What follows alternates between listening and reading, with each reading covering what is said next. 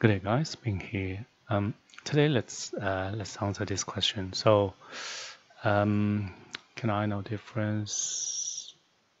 Okay, so basically, uh, difference between background and foreground, and also the coarse scale fill pattern. Okay, so let's start. So first, let's create a project. And so I'll, I'll quickly uh, explain what the core what the coarse scale fill pattern is used for. Okay, so in Revit, there um, there are uh, some uh, some uh, system families, so, such as wall, okay, uh, floor, such as floor. I'll just draw a floor here, and roof, okay, and ceiling. Uh, I'll just use sketch ceiling and draw a box here. Okay, so now maybe, uh, maybe I'll just uh, move it, move this wall here and rotate it by 90 degrees. So I can use this. So I know uh, the roof ceiling here because it's not um, in the view range. So if we change to side plane, we should be able to see the roof and the ceiling. So now if I go to uh, view, so this view, so now Okay, so this is a view with coarse uh, detail level. Okay, so this is uh, used usually. Um, usually, I like to use this for early stage because it's quite uh, easy to control. So because it doesn't matter. So sometimes you. So for example, if you use uh, uh, even this. Um, see this one double brick. There's a different layers in it, but at early stage you probably don't want to see. Uh, if if you change to medium, you will see all these layers, but will, for concept design, you don't, probably don't want to see them. So you can just easily just change it to coarse, and then to to control the pattern or the color, you just need to go to edit type. See here, so coarse scale fill pattern. So currently it's solid with this color, and then that's it. Same um, so this is a, a, floor. So the same, you can, so because currently there's no pattern, so it will show as uh, white. So once you change this to a solid, it will become the color, whichever color it's uh, under here. Oh, sorry, this one. So you can very easily, so for example, early stage, you have a, you know, a, a, a two wall, a roof, a ceiling here. So and then you just need to you can just use this to control to make them so for example make them all gray and then suddenly they are all the same pattern. Doesn't matter uh, what material they are. So on the coarse scale they look all the same. Okay? Same the ceiling so you can see uh, change to solid change it to the same color and then suddenly so you can even you know I think maybe you can join them see? So doesn't need same material at all. So just create some very uh, early stage uh, schematic design um, model or section. Okay so this is it. So this is a um, um, this is uh, what's this? Coarse scale fill pattern. Okay Okay, so um, yeah, of course, once you change this to other than coarse, it will all uh, bring back all the materials, all the patterns uh, for each um, layer for different materials. So, for example, for the brick, so it's controlled by this. Okay. So now let's talk about um, ground background foreground okay? So so there there are um, different uh, the surface pattern there, there are different patterns. So for example material. So if, if you go to material so for each material there are see one two three four. So two for surface pattern and two for cut pattern okay? So previously we only have one but I think maybe since maybe two or three years uh, ago, um, we, we had two for each. So this is good because previously we, uh, for example, um, uh, I want maybe just go to uh, floor plan and I'll just create something. Okay, create a new floor. So I'll edit, duplicate. I'll just call it. Maybe I just create a tile floor, and I'll also create a new tile material. Let's call it tile, and then so we can use.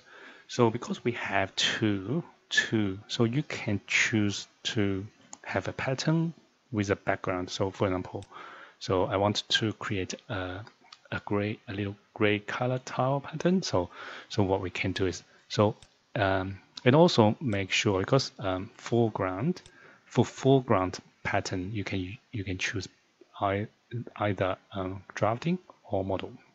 So um, most of the time, if it's uh, for real material, like for example, tile, you want to use model because this will control the size of the pad um, of the the pattern. So for example, if we want to have um, so 600 by 600 tiles, you, you should you should always use a model.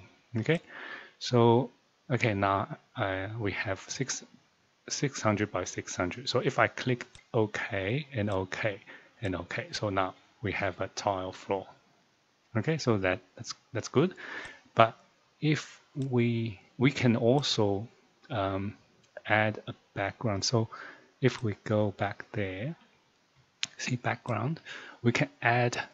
So and all, so this is the difference for background. You don't have this option. You don't have the model option. You can only use drafting.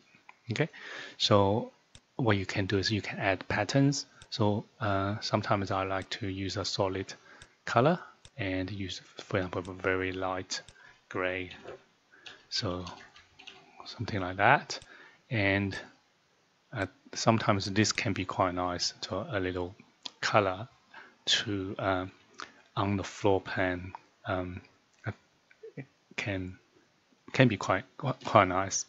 So yeah, just be um, careful because sometimes um, because it's a solid uh, surface pattern, so on the hidden line, it will, um, think, let me just try to go to 3D view, try to, because, um, there, which means it's always, and there will be a color. So even you, you use hidden line, because some, we might, uh, some might think that um, when you use hidden line, you should always like black and white, but sometimes if you, if you, uh, so this is gray, if I change to, um, so you can change to different uh, color. So for example, uh, uh, a little blue and and you might it might confuse uh, people because uh, usually we use hidden uh, a shade to to uh, show a little bit color, but some people might think, oh, what, what what's going on here? Even I, I use hidden line and still see those colors.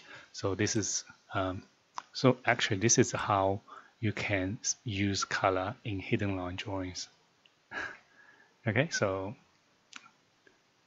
yeah, so now let's go back to, um, let's go back to the foreground and background setting. I think um, yeah, I think that's pretty much it. So, so, so these two settings just give give you opportunity to create something, you know, rather than just one pattern. You can, so so for example, solid solid. So you don't you don't uh, you can have different um, different. Uh, so for example, you can just try this one. So uh, should be the same sand sand. So so other than these, you can also have a little texture. So that, yeah, that's it. What else? Oh, and also uh, the same. So you can also use use these two um, fourth sorry, force and for oh, sorry, foreground and background for filled region. So you can also use you So let me just create one. Um, but the same, I believe it's the same. So you will see for background, you can only use uh, drafting, but for foreground, you can use both. Okay, so let me just quickly um, square 100 by 100 square, so you can choose different color. And for a, a background, you can choose a drafting pattern. So for example, a solid um, uh, blue. yeah, that's it. Um, what else? Um, okay, so and also just quickly show you some uh, tips or, and tricks for draft um, and some difference between drafting and uh, model. For I'll just quickly just maybe I'll use uh, use filled region so because it's easier. So I'll just create a filled region. Okay, so and then I'll just duplicate, create a new. I'll create a drafting. Okay, so draft drafting. So this is a drafting, and I'll just use a pattern. Okay, so I'll use so for example, uh, crosshatch three mil. So which means when you when you have this uh, filled region and doesn't matter what scale you use in that view when it, when you print this out or you know print to PDF or uh, just you excuse me if when you when you print this out and if you measure it it will be always it will always be uh, 3 mil okay so for example if you use 1 to 100 scale and if you use 1 to 200 scale, you'll find, oh, the pattern changes. Okay, so this is uh, the this is a, the property of drafting drafting um, pattern. Okay, so if I'll just quickly create another one. Okay, so this time I'll just call it a model. So if you use model, so here, so um, one to Oh, actually, I'm going to create, so create a new one. So I'll call it 300 by 300 because currently 1 to 100, 100 times 3 equals 3. So if I create a 3 by 300 and so I'll just type in 300, uh, oh, sorry, wrong one, cross hatch, 0, 300, and 300. And, ah, I forgot forgot to name it. 300 by 300 so because the, it's 100 by 100, 100 uh, 1 to 100 so you will see they are exactly the same size right? But when I change change scale so the model pattern will not change. It will always be 300 by 300 if I draw a line so you see that's 300 right but if you change the scale, the, uh, the drafting uh, pattern will change. Okay, so this is one difference, the scale. And also another difference is, so for example, this one, you won't be able to pick, so you, this is drafting, uh, you, so you see I can't, I can't, I can't pick the, the, the line in this pattern, see? And also if I just draw a line trying to align it, there's no way I can rotate or, so it will always be like this. So even you try to rotate this, can see this filled region. So uh, imagine this is a floor. If you, it's the same if you apply a material with a drafting uh, pattern, it will not follow. It will always follow the, the screen in this view. Okay? And then this one. This is a model pattern so if I rotate it you will see this pattern will follow follow the the model.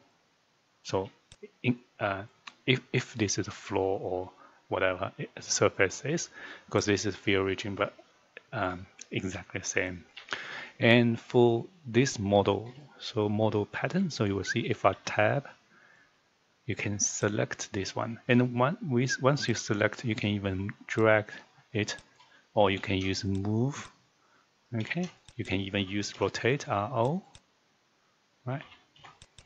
And also you can use a, a, line so I'll just draw a line there. So for example I want this pattern to follow this so follow this line so AL and you can just pick any of this line and suddenly this pattern will follow that line. Okay? So yeah so this is another uh, difference between draft drafting and the model. Um, is that is it enough? Yep 15 minutes. I think that's that's it. That's enough for today. Um, okay so if you have any questions. So um, just uh, want to apologize. Um, it's been uh, quite busy recently. So if if you have any questions just uh, just uh, write it here or paste the photos images sketches and i will yeah i will answer it as soon as possible. Okay, so thank you for watching and I'll see you next time. Thank you. Bye.